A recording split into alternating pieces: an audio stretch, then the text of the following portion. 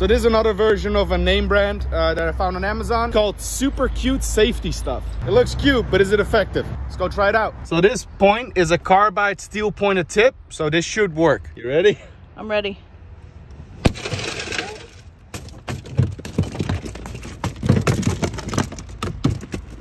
Oh, that works. Hey guys, it's pretty cheap and pretty effective.